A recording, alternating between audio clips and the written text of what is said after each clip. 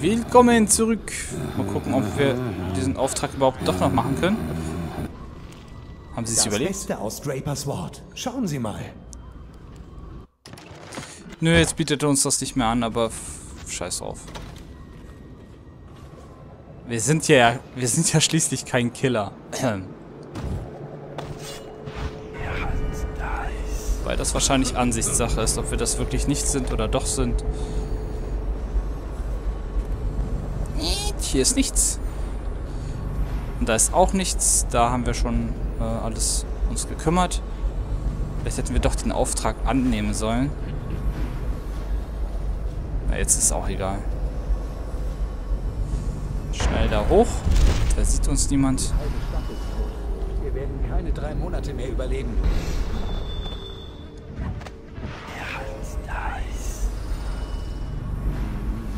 Okay, da kommt einer. Vielleicht können wir uns um den ja liebevoll kümmern.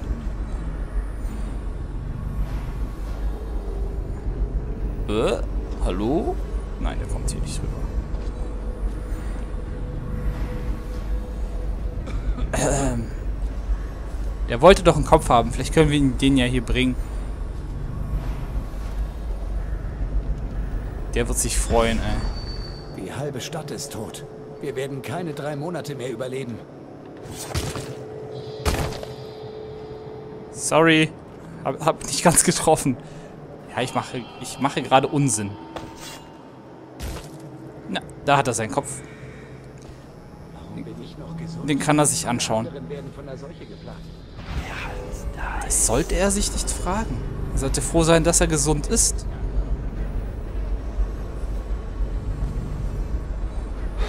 Okay. Sobald er sich umdreht.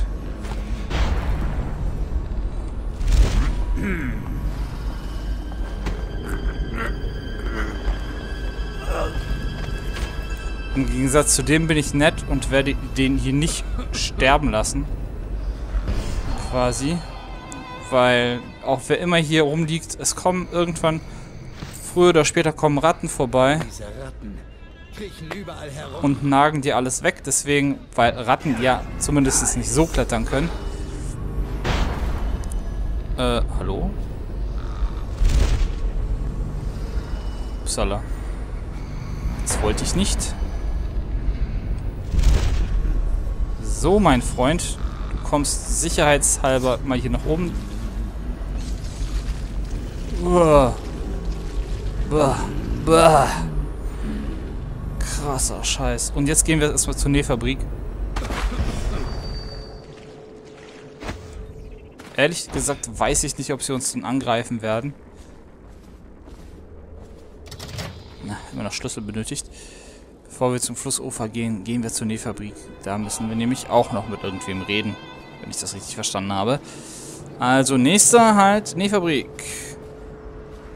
Hallo, ihr zwei. Die haben einen Blitzpfeiler. Ich weiß auch noch nicht genau, was ich davon halten soll. So. Schauen wir mal. Täubungsbolz, zwei Stück, sehr gut. Die nächsten zwei Gegner auf jeden Fall.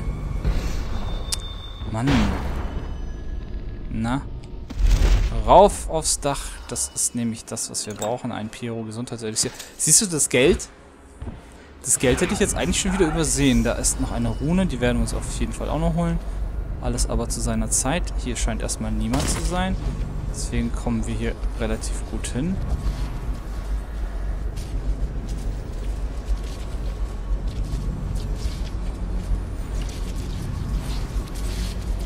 Okay. Es ist so ruhig. Fast wie früher. Der betrügt einen doch. Nun gib mir welche. Damit ich dumm dastehe, wenn die toten Aale kommen? Nein, danke. Jeder ist sich selbst der Nächste. Der Stolz der Hutmacher. Bin echt gerührt.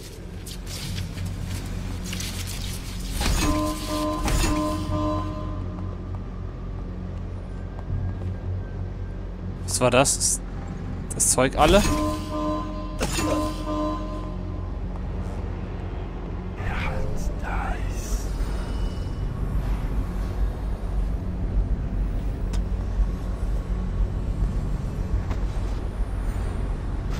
So.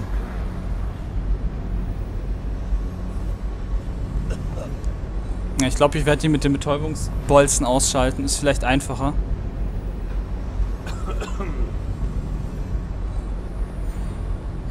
Weil ich sonst schlecht das Zeug hier ausmachen kann. Und vor allem hier komme ich dann schlecht weiter. Die haben sich hier ein schönes Viertel gesucht. Dieses Handelsviertel hier. Die ganzen kleinen Läden hier. Oh, da oben ist noch. Da oben ist noch was. Aber jetzt laufen die beide hier zusammen rum. Ich hoffe, das bleibt nicht so ein... Dass der Typ dahin läuft. Wir sollten mit der Fabrik weitermachen. Die Leichentücher bringen eine Menge Geld. So viel Beute und wir sitzen nur rum? Das passt nicht zu den Hutmachern. Okay. Na, mach doch mal. Einer soll mal da hinlaufen oder hier runter oder irgendwo hin, wo ich ihn abschießen kann.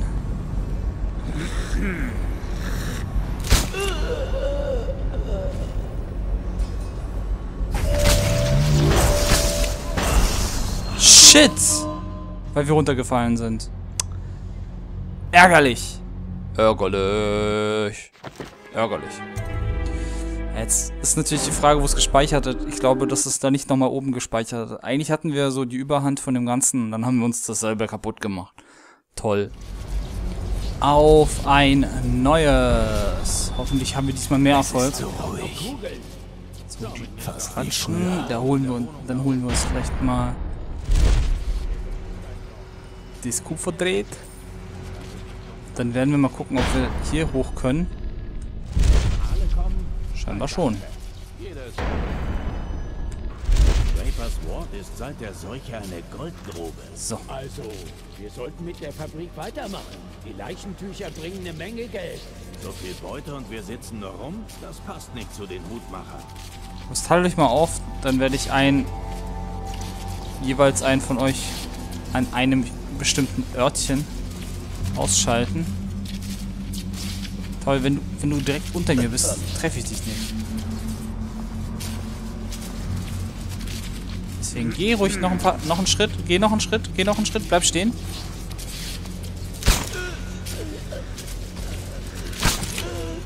So. Die zwei Betäubungspfeile habe ich ja für euch extra aufgespart.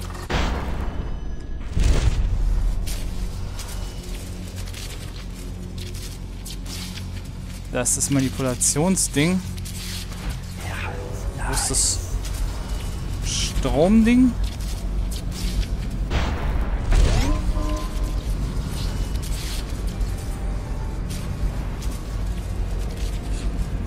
Ich glaube, wir müssten das fast tatsächlich andersweitig machen und ich mache das aber mal lieber mit einer Zeitverlangsamung.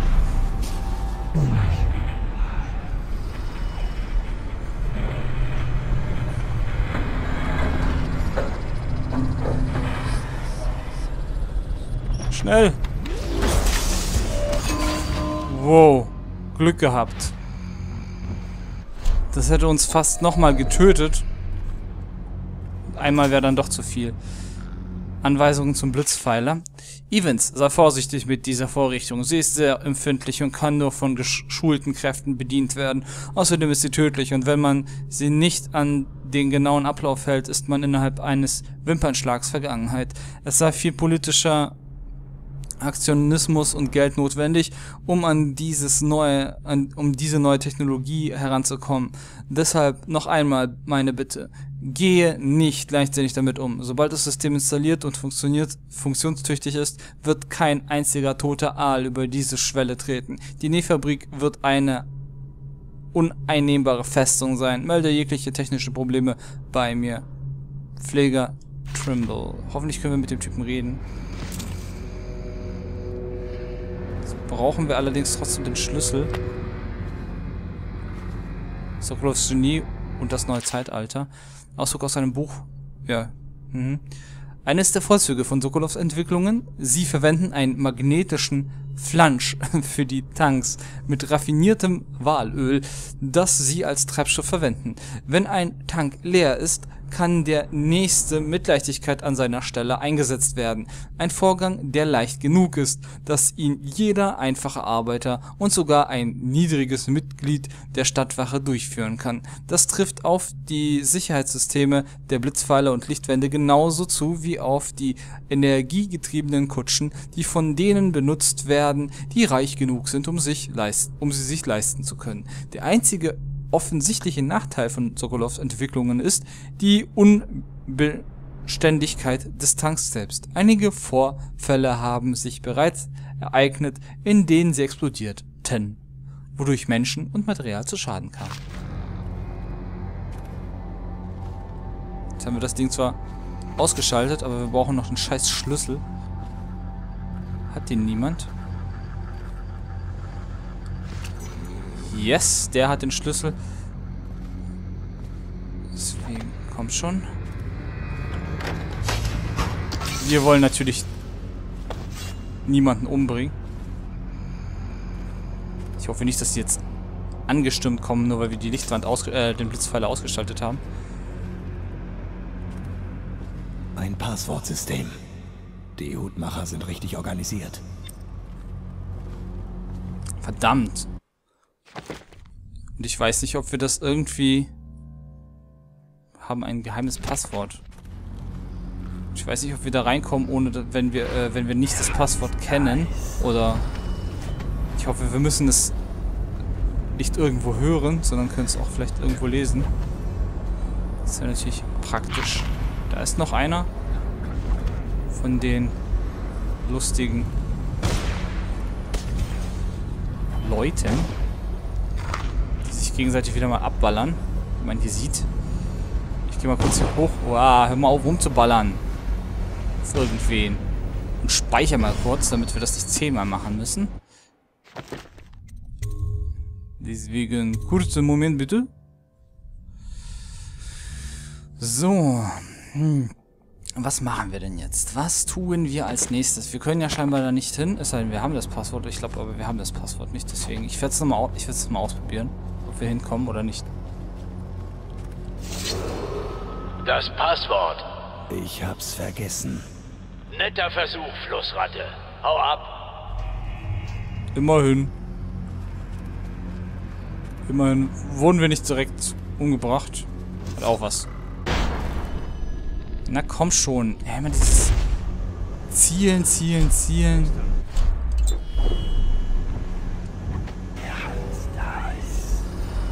So, das andere Flussufer. Da kommen wir auch hin. Auf jeden Fall.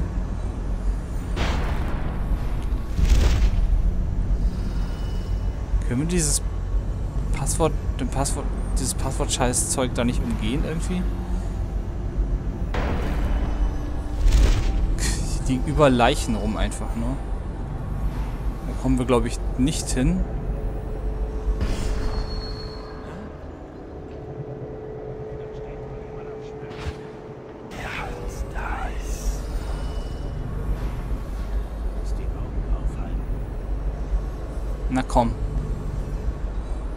Dich mal um. Okay. Er Warum musst du denn nochmal auf die Leiche schießen? Ich hoffe wirklich nicht, dass das uns angerechnet wird. Wenn es das wird, dann werde ich nochmal die ganze äh, Mission wahrscheinlich nochmal neu machen.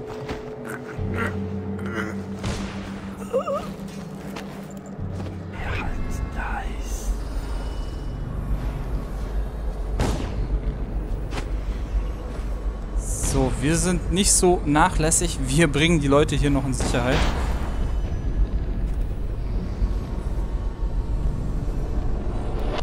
Ach so. Jetzt verstehe ich das. Wir können natürlich da nicht hochspringen, wenn wir einen von den Leuten hier auf dem Arm haben. Aber wer hier auf wen schießt, das, das wüsste ich auch gern. So, komm hier hoch.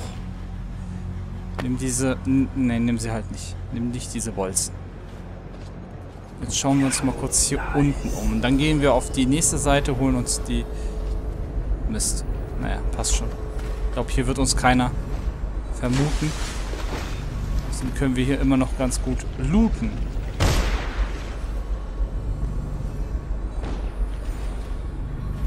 Hallo? Mal auf, immer aufeinander zu schießen.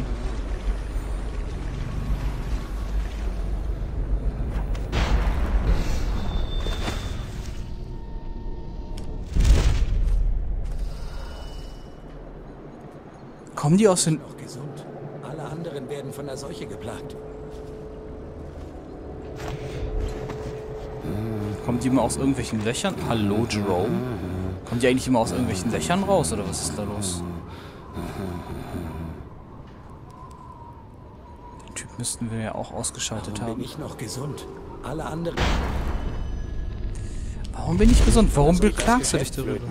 Klar, wir müssen tun, was nötig ist. Aber wo sie dann? Wer ist dieser von? Mal jemand.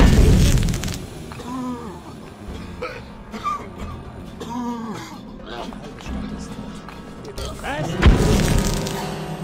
Dann hilf mir mal jemand! Ich stech dich ab. Alter, Manno. Das war's. Jetzt verblute. Ich mag nicht. Oh, wir sehen uns gleich. Ich lade nochmal bis zu der Stelle. Das ist doch dämlich. So, diesmal belauschen wir auch wirklich nur tun, was nötig ist. dieses Aber Gespräch. Lizzie hat sich an jede Abmachung gehalten. Sie war ehrlich. Kriechen überall herum. Genau. Wer will nach letzter Nacht noch was kaufen? Warum bin ich noch gesund? Alle anderen werden von der Seuche geplagt.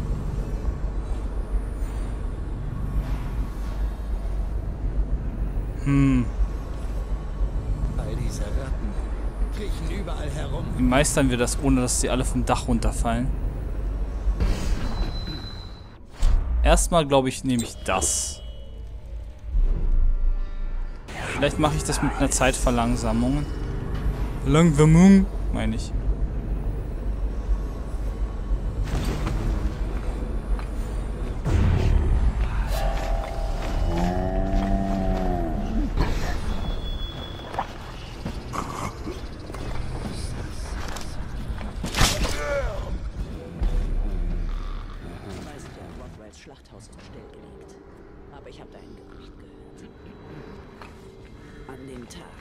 Rothwell verschwunden ist, hat ein Schiff nach Samara abgelegt. Er war bestimmt an Bord. Was will er denn in Samara? Wer weiß. Jedenfalls wurde er in Dunwall nicht gefunden. Und ein Typ wie der verschwindet nicht so leicht. Ist bestimmt in einen Fleischwolf gefallen. Jetzt ist er Dosenfleisch.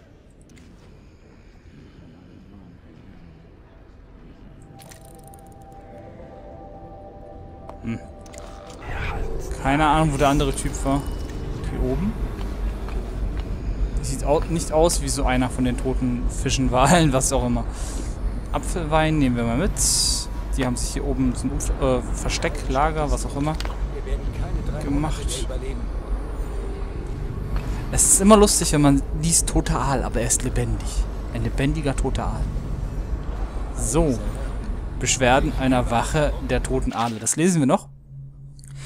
Dieser Posten ist schrecklich. Ich habe mir beim Hack, äh, Hackklettern, Hochklettern fast das Genick gebrochen und den ganzen Tag über habe ich mich, äh, haben mich die Hutmacher als Zielscheibe benutzt, wie auf dem Jahrmarkt. Heute Morgen habe ich eine Frau auf dem Glasdach auf der anderen Seite des Kanals beobachtet. Das macht mir Sorgen. Ich glaube, sie hat mich direkt angeblickt.